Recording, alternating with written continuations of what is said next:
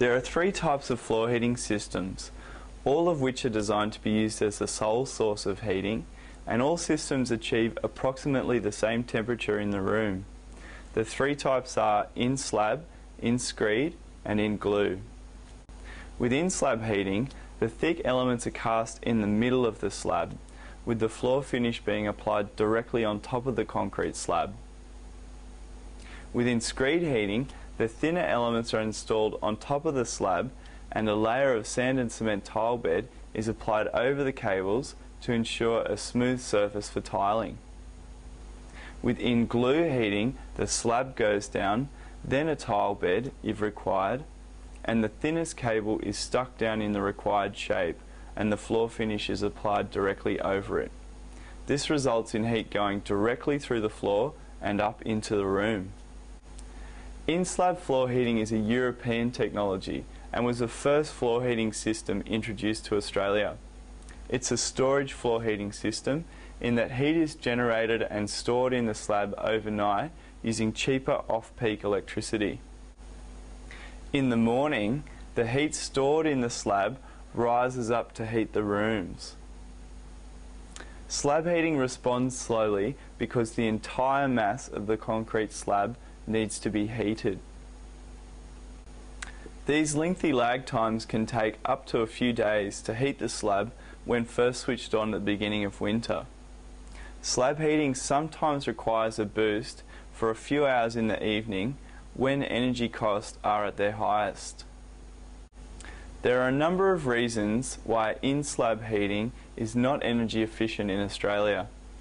Firstly, Australian architecture doesn't generally have the insulation values required to store heat efficiently and make slab heating economical. Secondly, Australian winter weather varies daily and even hourly, so an on-demand system works more efficiently in heating short, discrete periods. With an on-demand system, each room can be heated according to its own pre-programmed times during the cold mornings and cold evenings when it is required. Comparing the two, a storage floor heating system works well in Europe because heat is needed for each room on a daily basis over a consistently cold 5 to 6 month winter season.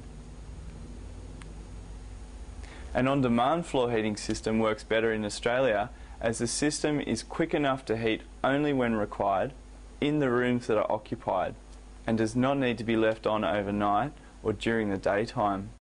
The unsuitable use of a European designed slab heating in an Australian climate and architecture gave rise to the reputation of floor heating being inefficient or expensive to run.